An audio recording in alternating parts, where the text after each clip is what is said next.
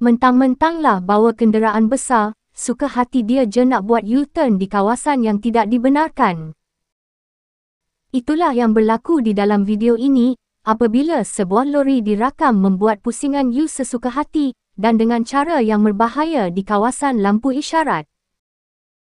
Tindakan pemandu tersebut akhirnya mengundang padah apabila terserempak dengan anggota JPJ yang kebetulan melalui jalan tersebut.